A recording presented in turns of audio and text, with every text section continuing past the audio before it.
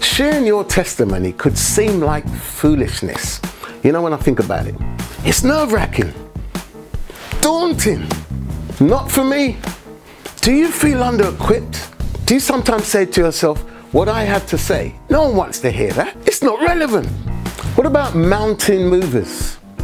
Front page news type of faith from those, you know, uh, exploit doers who always everybody wants to follow, the charismatic people.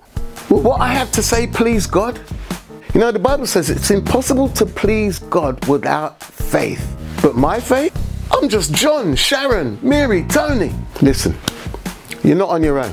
Faith has an author and a finisher. You know, like a book writer, faith has a chapter and a verse. It has been planned out, and our testimony has a chapter in that very book. And guess what? I've got good news. The author and finisher of our book of faith is Jesus. What's our expectation? I won't get a like. I won't get a comment. I'll get a thumbs down. I won't get a comment of agreement. That does not mean there are not them out there that might believe by the foolishness of our testimony. You know, Bible says God will watch over the words that bring glory to his name. He said he watches over his word and it cannot return unto him void. Isn't that great? can't wait. I can't wait to start.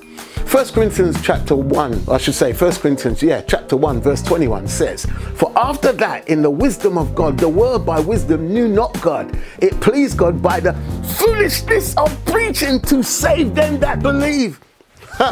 Verse 27 went on to say, But God has chosen the foolish things of the world to confound the wise, and God has chosen the weak things of the world to confound the things which are mighty. Hmm. That's great. You know, based upon that, the foolishness of my testimony, the foolishness of me sharing my faith, can please God. Yes, and someone might believe. But I feel like a baby. But that's why the verse says in Psalms 8, verse 2 Out of the mouth of babes and sucklings, thou hast ordained strength because of thine enemies, that thou mightst still the enemy and the avenger. Oh, this is great. This is great. So all of a sudden, me, if I share my faith online, it causes an expectation. And in this case, the expectation is, oh, I might get a like, yeah. I might get a comment, yeah. I'll get a thumbs up.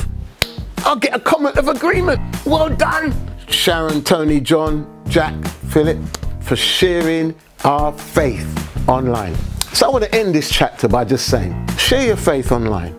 It pleases God by the foolishness of preaching to save them that believe. Wow.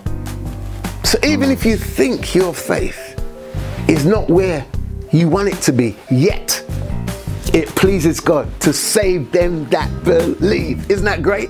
Let's say it together. It pleases God to save them that believe. Share your faith. My name's Philip Noel. Sharing faith